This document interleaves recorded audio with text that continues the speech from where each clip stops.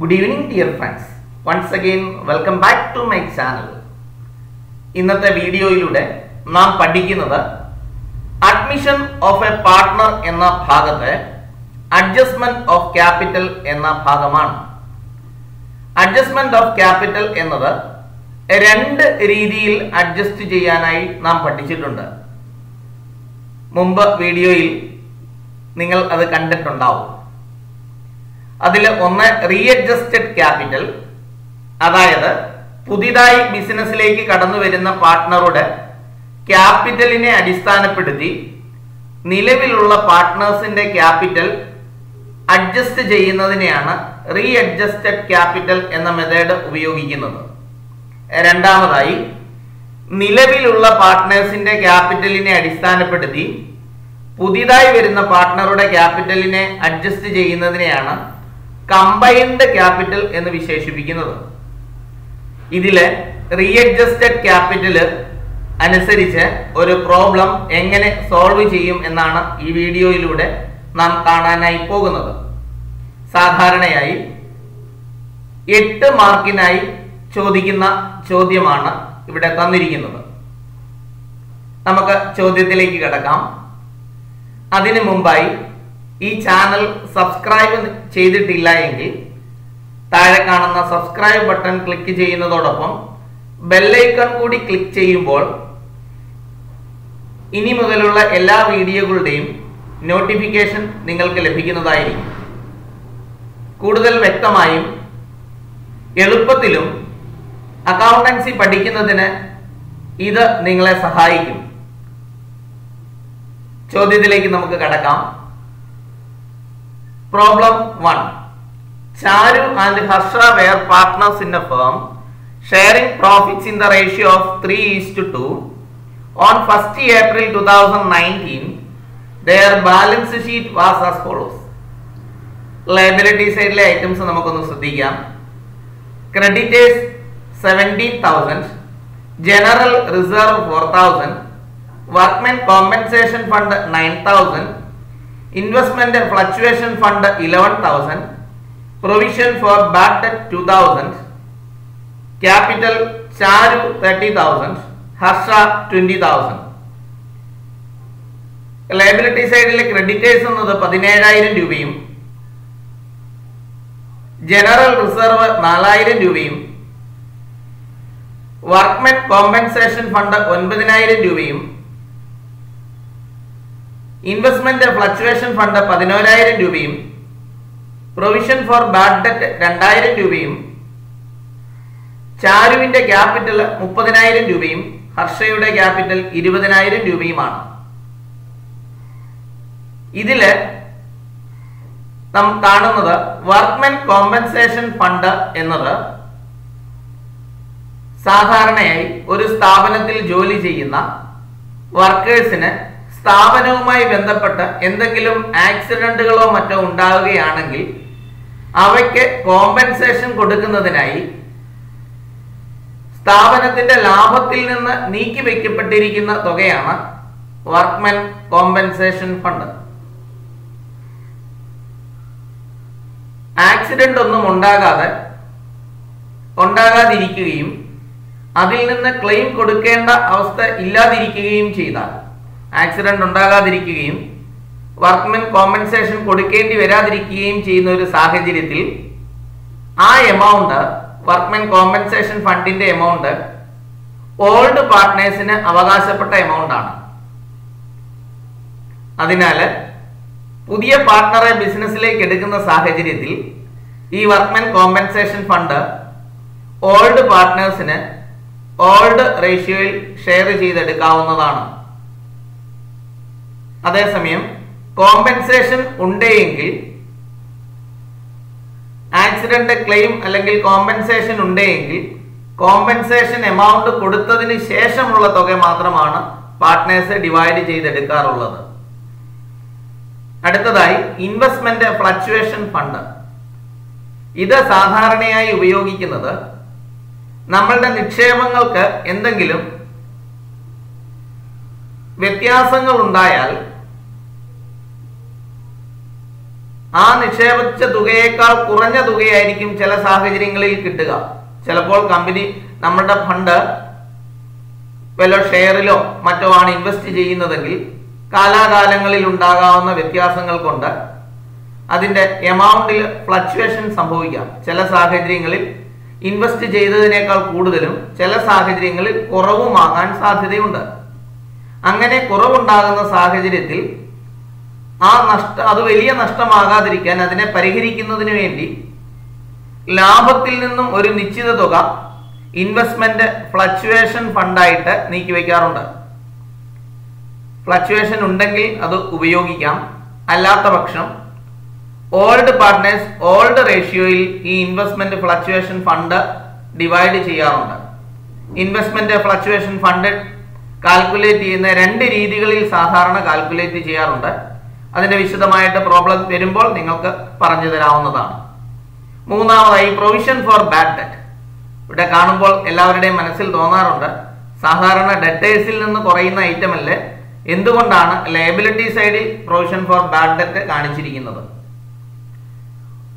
ഒന്നുകിൽ ബാലൻസ് ഷീറ്റിന്റെ അസറ്റ് സൈഡിൽ ഡെറ്റൈൽസിൽ നിന്ന് കുറയ്ക്കുകയോ അല്ലെങ്കിൽ ഓപ്പോസിറ്റ് സൈഡായ ലയബിലിറ്റി സൈഡിൽ കാണിക്കുകയോ ചെയ്യാം.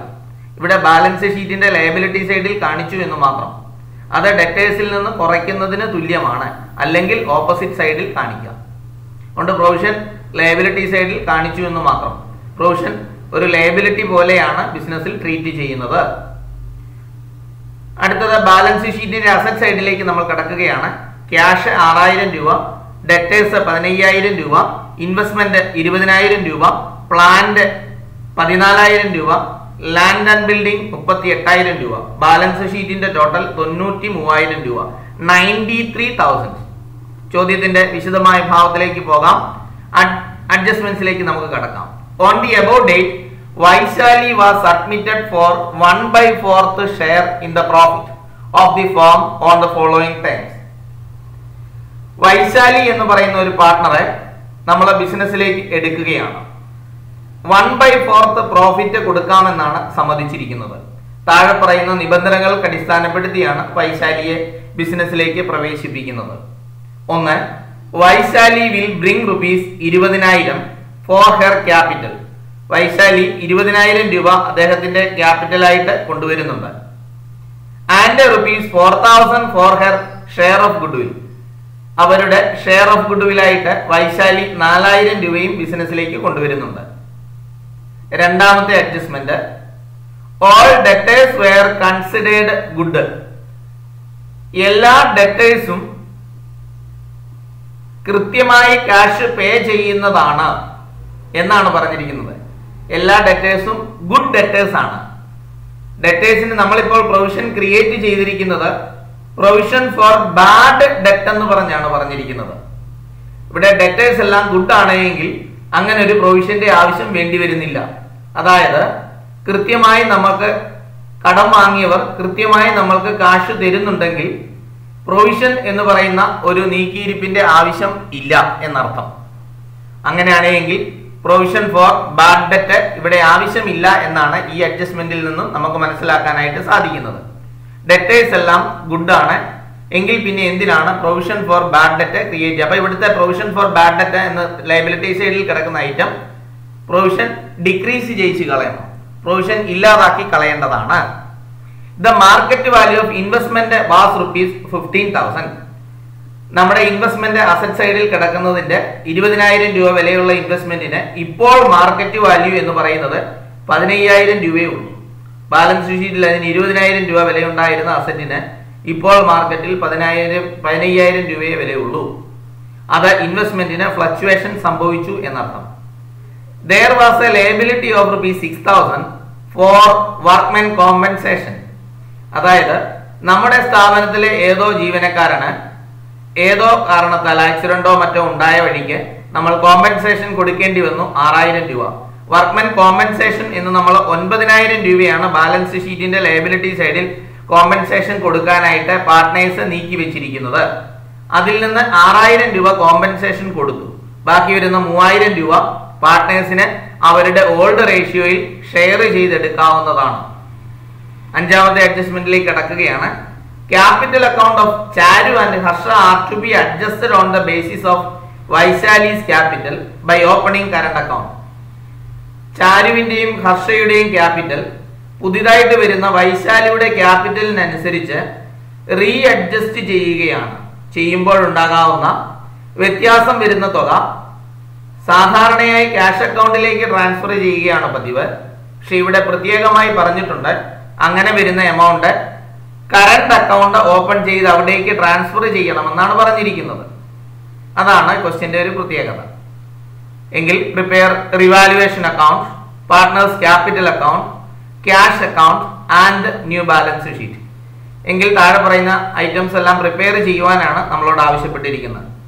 നമ്മൾക്ക് ആദ്യമായിട്ട് വർക്കിംഗ് നോട്ടുകളിലേക്ക് കടക്കാം ഒന്നാമത്തെ working note calculation of new profit sharing ratio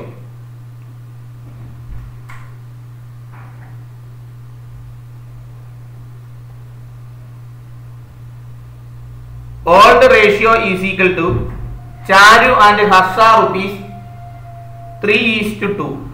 Charu's old share 3 by 5. Harsha's old share 2 by 5. Vaishali is admitted as a new partner for 1 by 4th share.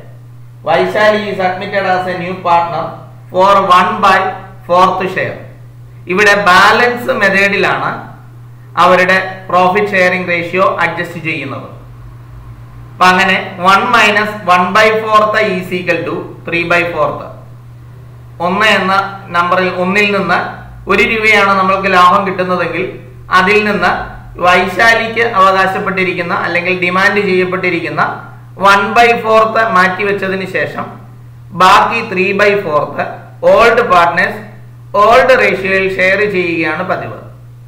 അങ്ങനെ നമ്മൾ ന്യൂ പ്രോഫിറ്റ് ഷെയറിംഗ് റേഷ്യോ കണ്ടെത്തുന്നു. Charu's new ratio അതായത് balance M portion into അവരുടെ old ratio. Three by fourth into ചാരുവിന്റെ old ratio three by five.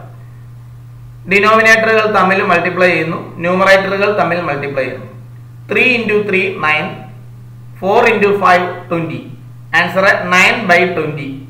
Harsha's new ratio. Balance portion three by four. ഹർഷയുടെ old ratio two by fifth. അത് തമ്മിൽ multiply ചെയ്യുന്നു. Three into two six four into five twenty Vaishali's new ratio വൈശാലിയുടെ portion one by ഫോർത്താണ് മറ്റു രണ്ടു പേരുടെയും denominator ഇരുപതായതിനാൽ വൈശാലിയുടേതിന്റെയും കൂടെ denominator ഇരുപതാക്കി മാറ്റണം. കാരണം എങ്കിലേ റേഷ്യോ എടുക്കാനായിട്ട് പറ്റുകയുള്ളൂ. അതുകൊണ്ട് വൈശാലിയുടെ വൺ ബൈ ഫോർ നാല് എന്ന സംഖ്യ ഇരുപതായി മാറണമെങ്കിൽ അഞ്ച് കൊണ്ട് മൾട്ടിപ്ലൈ ചെയ്യണം. ഭിന്നസംഖ്യയുടെ നിയമങ്ങൾ അനുസരിച്ച് ഏതെങ്കിലും ഒരു സംഖ്യ ഉപയോഗിച്ച് ഛേദത്തെയോ മൾട്ടിപ്ലൈ ചെയ്യുകയാണെങ്കിൽ അതേ സംഖ്യ ഉപയോഗിച്ച് അംശത്തെയും മൾട്ടിപ്ലൈ ചെയ്യണം എന്ന നിയമമുണ്ട്. അതനുസരിച്ച് മൾട്ടിപ്ലൈ ചെയ്യുമ്പോൾ ഫൈവ് ബൈ ട്വന്റി എന്ന് നമ്മൾക്ക് ലഭിക്കും. അപ്പോൾ ന്യൂ റേഷ്യോ കിട്ടി nine is to six is to five എന്ന് നമുക്ക് ലഭിച്ചു. നമുക്ക് അടുത്ത വർക്കിംഗ് നോട്ടിലേക്ക് കിടക്കാം. Calculation of sacrificing ratio sacrificing ratio is equal to old ratio minus new ratio ഓർത്തിരിക്കുവാനായി sacrificing റേഷ്യോയുടെ ആദ്യത്തെ മൂന്ന് അക്ഷരങ്ങൾ. സാക്രിഫൈസിംഗ് റേഷ്യോയുടെ എസ് ഓൾഡ് റേഷ്യോയുടെ ഒ ന്യൂ റേഷ്യോയുടെ എൻ ഇവ ചേർത്താൽ എസ് ഒ എൻ സൺ എന്നോർത്താൽ നമുക്ക് സാക്രിഫൈസിംഗ് റേഷ്യോ ഓർത്തിരിക്കാനായിട്ട് പറ്റും. ഇടയ്ക്കത്തെ സൈൻ മൈനസ് ആണ് വരുന്നത്. അപ്പൊ sacrificing ratio is equal to old ratio minus new ratio old ratio is equal to Charu is to Harsha is equal to three is to two. New ratio. Charu is to Harsha is to Vaishali is equal to nine is to six is to five. Sacrificing ratio കാണുന്നത് old പാർട്ട്നേഴ്സിന് മാത്രമേ sacrificing ratio ഉണ്ടായിരിക്കുകയുള്ളൂ. അവരാണ് പുതിയ partner വരുന്നതിന്റെ പേരിൽ sacrifice ചെയ്യപ്പെടുന്നത്. അതുകൊണ്ട് ചാരുവിന്റെ old ratio three by five new ratio nine by twenty denominator വ്യത്യാസമായതിനാൽ denominator ഒരുപോലാക്കുന്നതിനായിട്ട് ഈ അഞ്ചിനെ കൂടെ ഇരുപതാക്കുന്നു. ഇരുപതാക്കണേ നാല് കൊണ്ട് മൾട്ടിപ്ലൈ ചെയ്യണം. ആ നാല് ഉപയോഗിച്ച് ആ ന്യൂമറേറ്ററിനെ മൾട്ടിപ്ലൈ ചെയ്യുന്നു. ഇപ്പൊ നാല് ഉപയോഗിച്ച് മൂന്നിനെ മൾട്ടിപ്ലൈ ചെയ്തപ്പോൾ പന്ത്രണ്ടായി. നാല് ഉപയോഗിച്ച് അഞ്ചിനെ മൾട്ടിപ്ലൈ ചെയ്തപ്പോൾ ഇരുപതായി. ഇപ്പൊ പന്ത്രണ്ട് ബൈ ഇരുപത് മൈനസ് ഒൻപത് ബൈ ഇരുപത്. കുറച്ചപ്പോൾ മൂന്ന് ബൈ ഇരുപത്. ഡിനോമിനേറ്റർ ഒരുപോലെ ആയതുകൊണ്ട് ന്യൂമറേറ്ററുകൾ തമ്മിലുള്ള വ്യത്യാസം കണ്ടാൽ മതി. ഡിനോമിനേറ്റർ അതുപോലെ എടുത്തെഴുതാവുന്നതാണ്.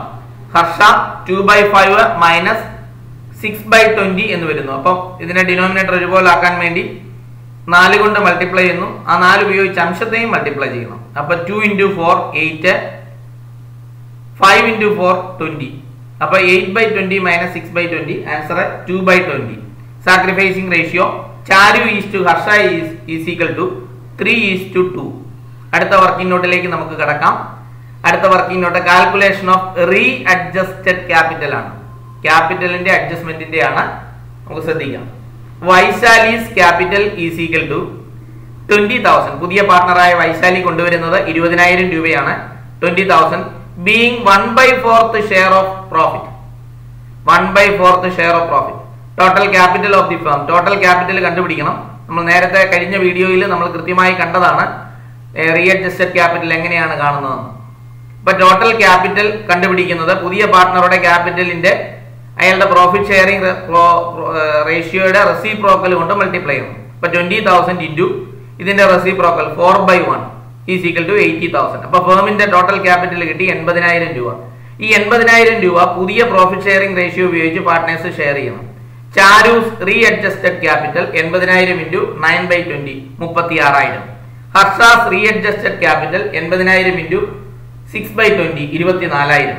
വൈശാലീസ് ശ്രീ അഡ്ജസ്റ്റഡ് ക്യാപിറ്റൽ എൺപതിനായിരം ഇന്റു ഫൈവ് ബൈ ട്വന്റി ഇരുപതിനായിരം. അത് തന്നെയാണ് അദ്ദേഹം കൊണ്ടുവരുന്നത്. ഇത് നമുക്ക് ക്രോസ് ചെക്ക് ചെയ്യുന്നതിനുള്ള ഒരു സാഹചര്യം കൂടെയാണ് നമ്മൾ ചെയ്യുന്നത് ശരിയാണോ എന്ന്. അപ്പോൾ അദ്ദേഹം കൊണ്ടുവന്ന ഇരുപതിനായിരം രൂപയാണ് അദ്ദേഹത്തിന്റെ പേരിൽ വരേണ്ടത്. അത് തന്നെയാണോ കറക്റ്റ് കിട്ടുന്നതെന്ന് നമുക്ക് ചെക്ക് ചെയ്യാനും കൂടെ ഒരു അവസരമാണിത് അടുത്ത ഇതിലേക്ക് പോകാം. അടുത്ത നാലാമത്തെ working നോട്ടാണ് treatment of provision for bad ബാഡറ്റിനെ bad ഡെറ്റിനെ കുറിച്ച് നമ്മൾ നേരത്തെ പറഞ്ഞിരുന്നു. All debtors were considered good എല്ലാ ഡെറ്റേഴ്സും ഗുഡ് ആണ് എന്ന് കൃത്യമായി പറഞ്ഞിട്ടുണ്ടെങ്കിൽ പ്രൊവിഷൻ ഫോർ ബാഡ് ഡെറ്റിന്റെ ആവശ്യമില്ല. ഇനിയും പ്രൊവിഷൻ ഫോർ ബാഡ് ഡെറ്റ് ആവശ്യമില്ല എന്നാണ് പറഞ്ഞിരിക്കുന്നത്. Provision for bad debt is no longer required ഇനി അതിന്റെ ആവശ്യമില്ല. Hence should be credited to in revaluation account അതുകൊണ്ട് പ്രൊവിഷനെ റെഡ്യൂസ് ചെയ്യണം ഡിക്രീസ് ചെയ്യിച്ച് കളയണം ഇല്ലാതാക്കി കളയണം. അതിനെ നമ്മൾ റിവാലുവേഷൻ അക്കൗണ്ടിന്റെ ക്രെഡിറ്റ് സൈഡിൽ എഴുതണമെന്നാണ് സൂചിപ്പിച്ചിരിക്കുന്നത്. നമുക്ക് അടുത്തത് റിവാലുവേഷൻ അക്കൗണ്ടിലേക്ക് പോകാം. റീവാലുവേഷൻ അക്കൗണ്ട് പ്രിപ്പയർ ചെയ്യുന്നു.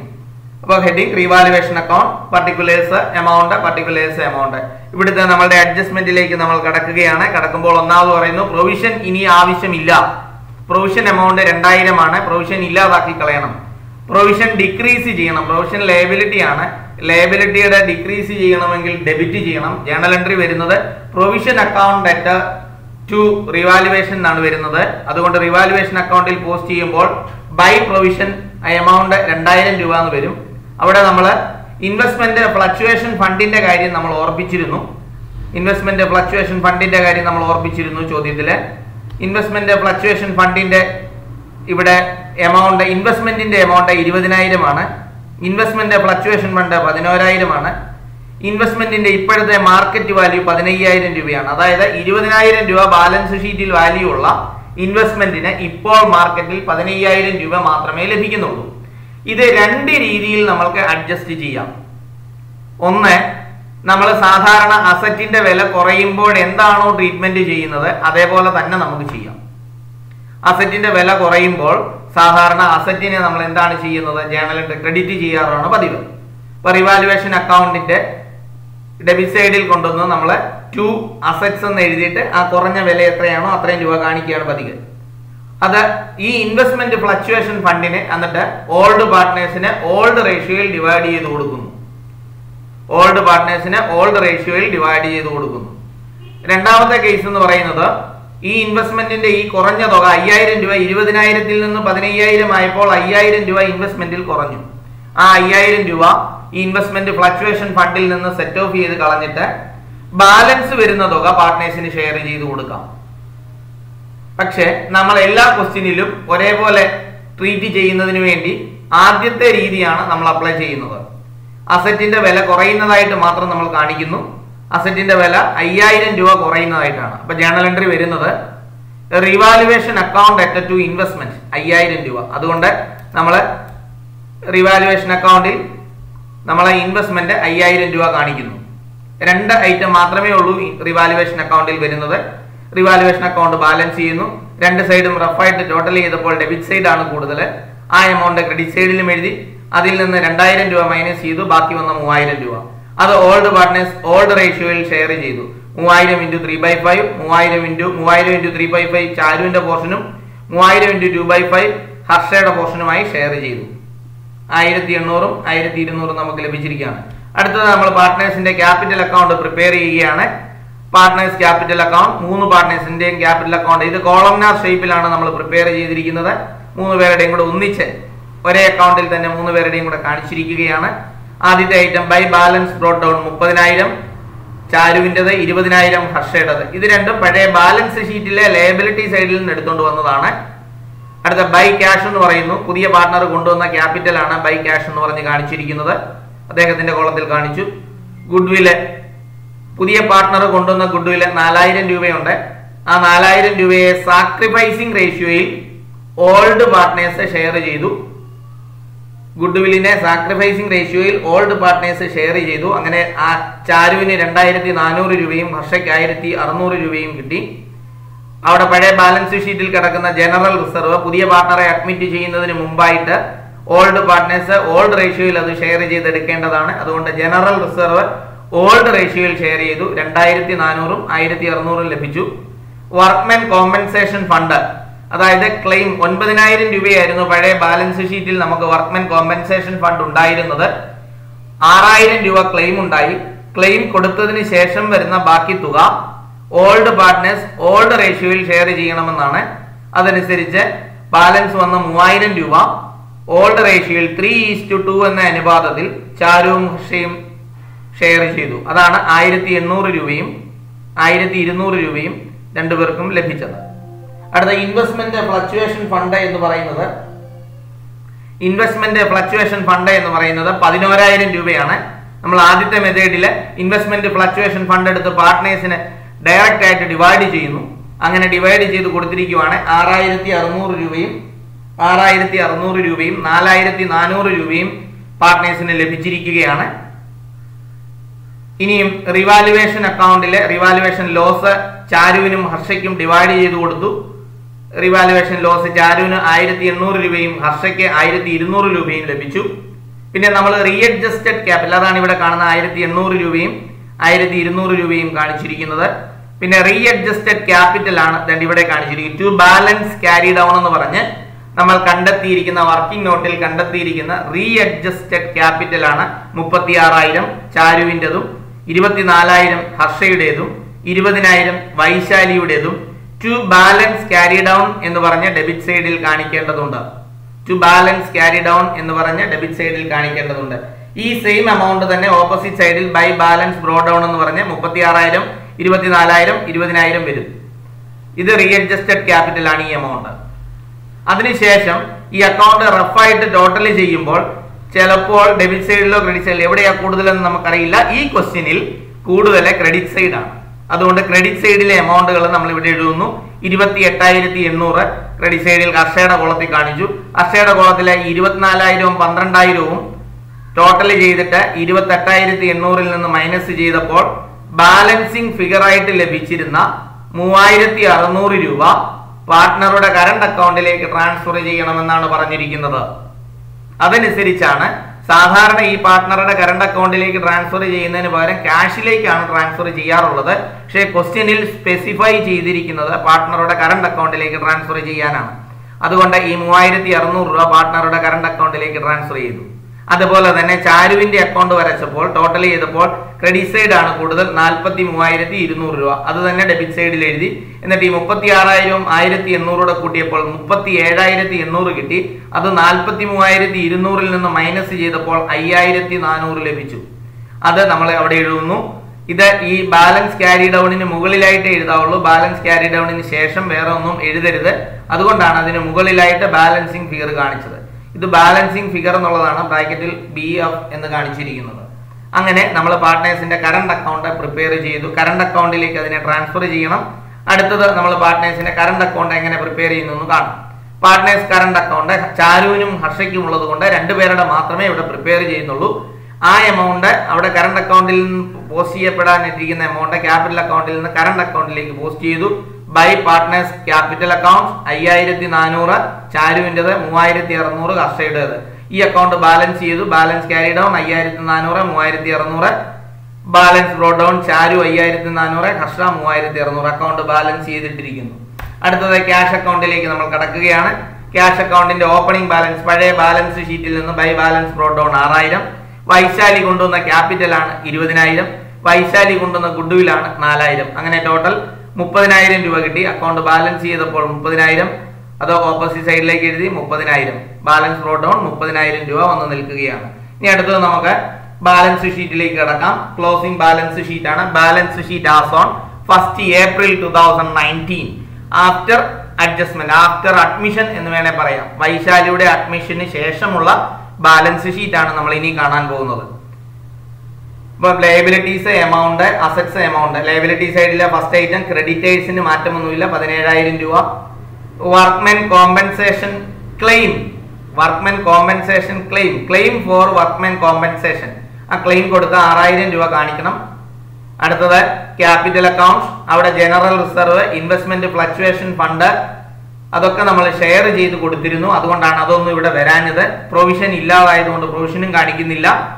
ക്യാപിറ്റൽ അക്കൗണ്ടിന്റെ ബാലൻസ് അവരുടെ ക്യാപിറ്റൽ അക്കൗണ്ടിന്റെ ബാലൻസ് എമൗണ്ട് അതായത് readjusted cap balance C D എന്ന് പറഞ്ഞു കേട്ടിരിക്കുന്ന എമൗണ്ട് ആണ്. അത് തന്നെയാണ് ബ്രോഡ് ഡൗൺ എന്ന് പറയുന്ന ആ എമൗണ്ട് നമ്മൾ എടുത്തെഴുതുന്നു മുപ്പത്തി ആറായിരം ഇരുപത്തിനാലായിരം ഇരുപതിനായിരം. പിന്നെ കറണ്ട് അക്കൗണ്ട് നമ്മൾ വരച്ചിട്ടുണ്ടായിരുന്നു. അതിന്റെ ബാലൻസ് കൂടെ ഇവിടെ എഴുതണം. എങ്കിലേ ഇത് ടാലി ആവുകയുള്ളൂ കറണ്ട് അക്കൗണ്ടിന്റെ ബാലൻസ് ചാരു അയ്യായിരത്തി നാനൂറ് കർഷ മൂവായിരത്തി അറുന്നൂറ് അസറ്റ് സൈഡിലേക്ക് പോവുകയാണ്. അക്കൗണ്ട് വരച്ചിരിക്കുന്നതിന്റെ എല്ലാം അക്കൗണ്ട് ബാലൻസുകളാണ് ഇവിടേക്ക് എടുക്കേണ്ടത്. ബാലൻസ് ബ്രോഡ് ഡൗൺ എന്ന് പറയുന്ന ഫിഗറുകളാണ് ബാലൻസ് ഷീറ്റിലേക്ക് എടുക്കേണ്ടത്. ക്യാഷ് മുപ്പതിനായിരം ഡെറ്റേഴ്സ് പതിനയ്യായിരം ഇൻവെസ്റ്റ്മെന്റ് പതിനയ്യായിരം. കാരണം ഇൻവെസ്റ്റ്മെന്റിന്റെ വില ഇരുപതിൽ നിന്ന് പതിനഞ്ചായി കുറഞ്ഞു എന്ന് പറയുമ്പോൾ പുതിയ വിലയാണ് നമ്മൾ കാണിക്കുന്നത്. പ്ലാന്റ് പതിനാലായിരം രൂപ മാറ്റമൊന്നുമില്ല പഴയ വില തന്നെ. ലാൻഡ് ആൻഡ് ബിൽഡിങ്ങിനും മാറ്റമൊന്നുമില്ല മുപ്പത്തി എട്ടായിരം അങ്ങനെ ബാലൻസ് ഷീറ്റ് ടോട്ടൽ ചെയ്തപ്പോൾ ഒരു ലക്ഷത്തി പന്ത്രണ്ടായിരം രൂപ കിട്ടി. തുടർന്ന് അടുത്ത വീഡിയോയിലൂടെ നമുക്ക് കൂടുതൽ പ്രോബ്ലങ്ങളിൽ കാണാവുന്നതാണ്. താങ്ക്